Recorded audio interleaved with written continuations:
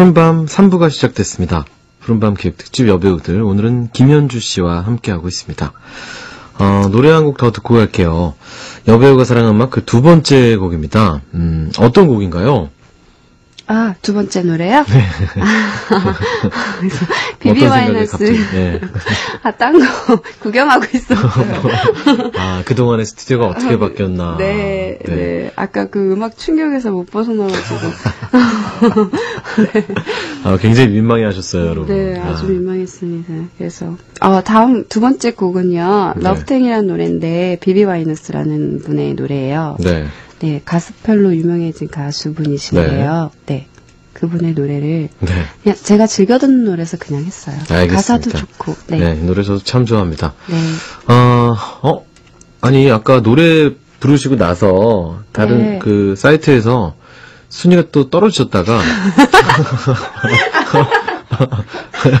지금 실시간 검색어 1위 올랐다, 올랐대요. 하, 정말.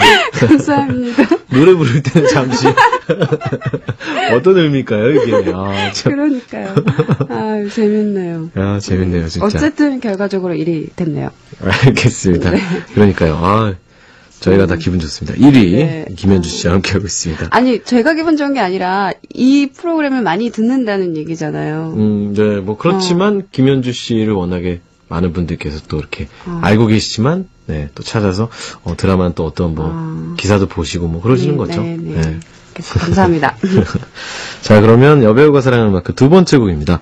어, 비비 와이넌스의 Love Thing 듣고 올게요.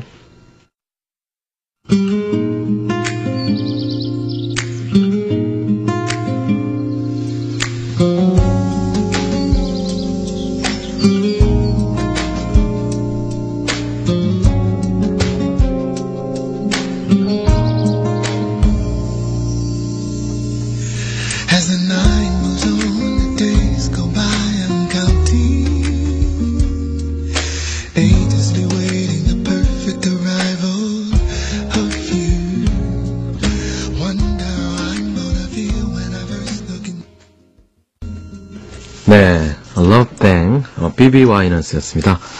어, 이 곡은 여배우가 사랑하는 음악, 그, 김현주 씨가 사랑하는 음악 그 두 번째 곡이었습니다. 네. 자, 푸른밤 기획 특집 여배우들 오늘은 김현주 씨와 함께 얘기 나눠보고 있는데요. 음, 지금까지 어떠세요? 어디 뭐 불편하신 데는 없으시죠? 없습니다. 유독 편안해 보이세요. 네.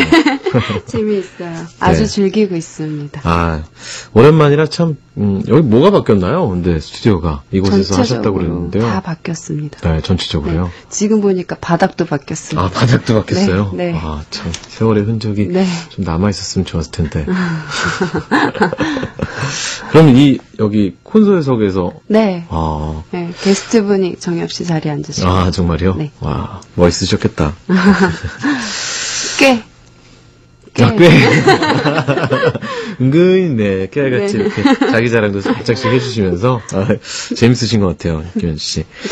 아, 그렇지만 지금부터는 분위기를 좀 바꿔서, 음, 조금은 날카롭게 진행을 해보도록 하겠습니다. 네. 음, 어, 긴장을 바짝 하셔야 될 거예요. 여배우에게는 까딱하면 치명적일 수도 있는, 어, 아. 광고주가 찾지 않아도, 어, 저희는 책임지지 않습니다. 여배우에 대한 아주 쓸데없는 궁금증을 풀어보는 시간입니다. 여배우에 관한 치명적 질문. 네. 음악이 좀 앙증맞죠? 그러니까 치명적 질문하고는 좀 거리가 먼 음악인데. 이렇게 좀 안심을 하게 만들어 놓고 아. 저희가 또 날카롭게 어, 아. 질문으로 찌르려고 합니다. 어, 늘 그렇듯이 시작은 어, 입술 풀기로 가볍게 들어갑니다. 아, 네. 어, 김현주 씨는 2007년 11월 모 예능 프로그램에 출연해서 본인의 입술에 관한 진실을 고백하셨습니다. 어린 시절 전기밥통이 이게 뭐야? 전기밥통이 입술 위로 떨어지는 불의의 사고를 당한 뒤에 네. 입술이 다른 사람보다 훨씬 두꺼워졌다면서 그때부터 지금까지 그 입술이 유지되고 있다고 밝히셨습니다. 아, 이게 정말인가요, 이게? 근데 사실 저기 어, 좀 핑계 같은 음. 거고요. 아, 밥통이 아니었군요, 떨어진 게. 아, 밥통은 맞아요. 맞는데 그러니까 제가 장롱 위에 있는 물건을 집으려다가 네. 제가 키가 그렇게 큰 줄을 네. 모르고 네. 손을 뻗쳤는데 그게 장롱 끝인 줄 알고 힘을 딱 해서 올라가야 되는데 네. 그게 밥 그 장롱 위에 있는 밥솥이었어요. 그러니까 그거를 아. 짚고 예, 지지대로 이렇게 힘을 딱 한 거였죠. 네. 그래서 걔가 떨어져서 입술을 정말 정확히 입술을 맞았어요. 제가 아, 잘못은 무슨 일이 아니군요. 윗입술이 두껍거든요. 네. 근데 그때 윗입술을 맞았는데 사실은 저희 가족이 다 그래요. 아, 그렇군요. 솔직히는. 예, 네. 근데 저는 그냥 그때 맞아서 예. 네, 그때 그래서 그렇다라고 네. 하는데 네. 저희 가족 내력입니다. 김상훈 씨가요, 입술에 관한 진실 정말 궁금했습니다. 이렇게 보내주셨고요.